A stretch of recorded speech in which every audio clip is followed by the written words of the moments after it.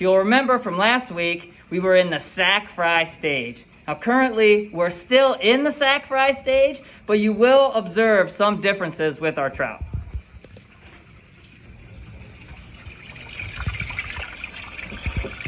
So if you'll remember, the sac fry stage of these fish has that yolk sac. Now these fish aren't actually feeding for themselves just yet, and they rely upon that yolk sac for nutrition. If you'll notice from last week, that yolk sac has gotten considerably smaller. That's because each day they absorb a little bit of this as they utilize that yolk sac for the nutrition that they need. Our next stage, as they continue to absorb that yolk sac, will be known as the button-up stage or the swim-up stage. This is when they'll actually swim up to the surface and gulp air to start filling that swim bladder. And at this point, they will begin searching for their own food. It's at that point where we're going to start beginning to feed these fish so they can learn